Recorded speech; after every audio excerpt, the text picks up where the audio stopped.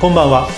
オカルト研究家の吉田裕樹です。オカルトを楽しく学ぶオカルトエンタメ大学のお時間がやってきました。都市伝説の女怪人に関する授業も今日が最終日。今日は男性の皆さんにとっては恐ろしくも少し嬉しいそんな女怪人についてお話ししていきます。それでは早速授業を始めましょう。今日お話しする女怪人たちの講義は前回の赤い女に関する授業動画をご覧になってからの方がより楽しめると思います。ぜひとも復習のため前回前々回その一つ前のものも含めてご覧になってください。赤い女赤い服の女たち、まあ、鹿島さんであり、ブブメ、テケテケ、アクロバティックサラサラ。その赤い女たちというのは言ってみれば、女性性のネガティブな現れ、それが恐怖の霊的な存在になった者たちということをお話ししていったんですが、ではその逆、言ってみれば女性性がポジティブに現れた性欲盛んな女怪人たちという赤い女と対照的な者たち、女たちもいるわけです。で、私はそれを大きな女というジャンルでくくっているんですね。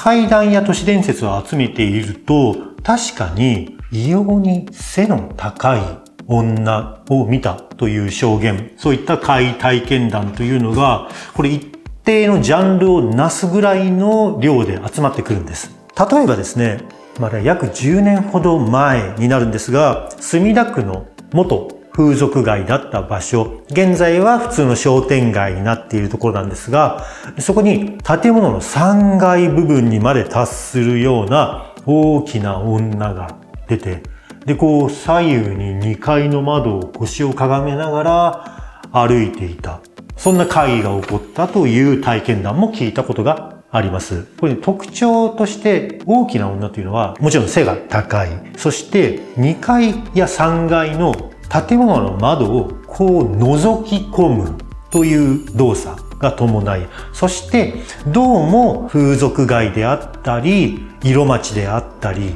そういう性的な場所に現れるという特徴があるんですね。例えばですね、高女という妖怪、これ妖怪詳しい方だったら知ってるかもしれませんが、これは江戸時代の絵師の鳥山石燕のガズ百鬼夜行に書かれているものなんですが、下半身がぬーっと非常に長く伸びた女の妖怪で、まあ、つまり背の高い妖怪であり、部屋を覗いている、所作をしている。まあ、それは石燕の書いた妖怪としてあるんですが、それはただ高女という名前しか書かれておらず、どういう妖怪なのかは不明なんですけども、後年時代が下った後に、まあ、勝手な解釈ではあるんですが、遊郭に現れて、まあ、男女がいいことしているところを覗き込む妖怪だというふうな解釈がなされたりしてます。まあ、確かに鳥山世間の絵に描かれた高女の描かれたところっていうのは、まあ、こう吹き抜けになってる階段があってて、遊郭っぽいっちゃ遊郭っぽいんで、まあ、そこから連想された解釈ではあると思うんですが、もしくは同じく鳥山世間で、ケラケラ女っていう妖怪がいるんですね。これは非常にサイズの大きな女で、建物の塀、屋敷の塀をこう軽々と見下ろすぐらいの高さを持っており、そこから屋敷の中を覗き込んで、こうケラケラケラケラ笑っている。それはどういう妖怪かというと、こちらに関しては鳥山石燕の紹介文、説明文がありまして、まあ、どうも性的にみだらなもの、女のそういう部分が凝り固まってできた妖怪であるという、まあ、実はこれ中国の古事に、まあ女が塀を除いて色目を使うっていうお話があって、そこから拡大解釈して妖怪化したものが、ケラケラ女。それは、それで鳥山世間の勝手な解釈ではあるんです。まあ、高女にしろ、ケラケラ女にしろ、まあ、特に根拠がすごくあるわけではない、勝手な解釈、勝手な想像ではあるんですが、じゃあ逆に言うと、そういうイメージをどうしても持つ。そういう解釈をしがちなのが大きな女なんですね。やっぱりなぜかこう性的にポジティブというか性的にお盛んなイメージが大きな女には持たれる。それは私が聞いたその墨田区の大きな女もなぜかこう元風俗街に現れてその建物を覗き込んでいくという動作をしている。これ全く関係ないところから採集している話なのになぜかそういう共通点があるんです。皆さんでもここまで聞いたら思い当たる、すごく有名な妖怪、都市伝説あるんじゃないですか？八尺様ですよね。インターネットで語られる現代妖怪、都市伝説としてはもう一番有名なものの一つなんじゃないですか？その名の通り身長が8尺、つまり2メートル40センチ以上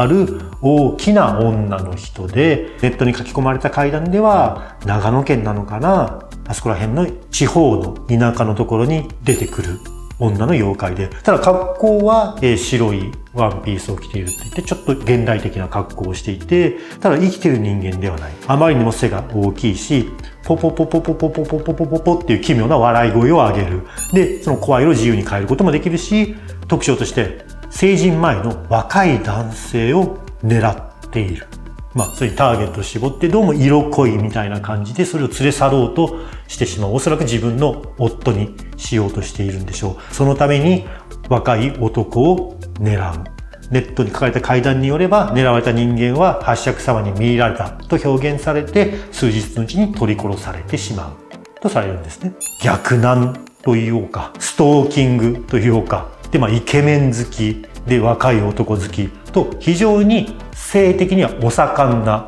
感じがしますよね、八尺様。かつ、八尺様の話の一番の見せ場として、八尺様に見入られてしまった男の子が2階の部屋に、まあ、逃げ込んでかくまってもらって、怯えているところに窓ガラスがコンコンコンコンコンコンって叩かれる音がして、で、ポポポポポポポポって声が聞こえた。まあ、明らかに八尺様が家の外から2階の窓を覗こうとしているという情景ですよね。このあたりのイメージもやはり他の大きな女と共通している。背が高い。そして性的に盛ん。ポジティブである。という共通項があるんですね。このあたりがやっぱり赤い女と好対象。八尺様なんかまさに白い服を真っ白い服を着ていますし、まあ、高女だって真っ白い服を着ているから、そういう色合い的にも好対象だし、出産や、まあ、妊娠中に亡くなってしまった産め的な、いざなみ的な女性の性がネガティブに現れた恐怖の存在。口先女、鹿島さん、テケテケと、やはり大きな女っていうものの性へのポジティブさっていうのが、こう、恋の裏表というか、両天秤というか、一対をなすような対照的な存在だと思うんです。そして、2020年現在、最新の女怪人、いやもう最新の都市伝説と言えるものが、この大きな女の系譜として現れました。皆さんご存知ですか？窓から首ひょこひょこ女。もう一度言いますよ。窓から首ひょこひょこ女。この名前だけ聞いても、どんな妖怪なのかわからないですよね。これ解説しますと、窓から首をひょこひょこ出してくる女がいるっていうのが、今ネットで話題になっているんですよ。それはまあ昨年から今年にかけて噂されている全く新しい女怪人、妖怪であって、で、どうも西八王子の駅から卵漁にかけての南浅川沿いがエリアらしい。まあ言ってみれば八王子の中でもその辺りの地域に出るらしいという人もいれば、まあ他の地域で見られているケースもあるんですが、その名の通り、こちらが例えば夜部屋で寝ていると、窓の向こうから首をひょこっと覗かせる女がいる。あれって怖いよねっていう話が2チャンネルというか現5チャンネルの特に南 J ですね。何でも実況のスレッドで、えー、非常に書かれている、噂されているというものなんです。ただこれ、まあ、出来たてほやほやの新しい説なので、情報が整理されていない。私たちも書き込んでいる人たちも一体どんな存在なのかよくわからない。あるいは霊的な存在なのか、それともそういうおかしな人が本当にいるのか、それもわからない。一回であればまあ誰でも覗けますよね。だそういうストーキング的なことをする、まあ言ってみればちょっと変なおかしな女の人が八王子のあたりにいて、いろんな家を覗いているのか、それとも2階や3階の窓から覗かれるというパターンもある。とすれば、じゃあそれは普通の人間にはできない霊的な存在、それこそ八尺様のような存在がいるのではないか。特に八王子のあのあたりにいるのではないか。いやいや、あれは生きた人間なんだと。精神を病んでしまった女性が夜な夜な街を徘徊して目についた家の窓をひょこひょこひょこひょこ一軒一軒覗いているんだ。という人もいる。まあまあ、それはそれで非常に怖い話ではあるんですが、どうもその書き込みの一部によると、パッと自分が夜目が覚めて窓の外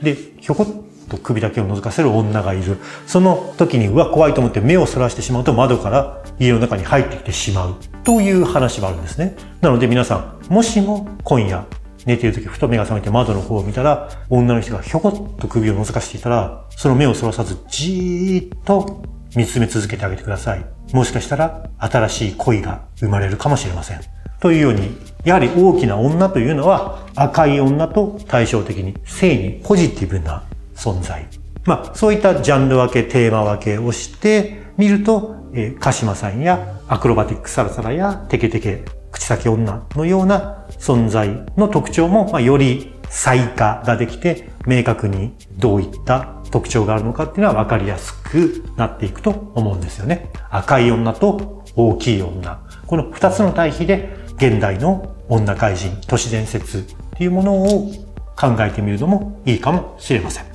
それではまた次の授業でお会いしましょう。日本兵タイプの鹿島さんっていうのは、少尉軍人の人たちで日本刀を持って自転車を漕ぎながら、トントントンからトンって歌いながら、本当にいるかもしれない。まあ、霊的な存在ではなくて、本当に通り魔的な、もっと言えば大岩さんやお菊さんなんかも社会の中で男性に虐げられてひどい目にあって、まあ、何を調べるかっていうのもまず自分の興味がどこにあるか自問自答して考えてみるのがいいかもしれませんこのチャンネルではオカルトを楽しく学べます。チャンネル登録お忘れなく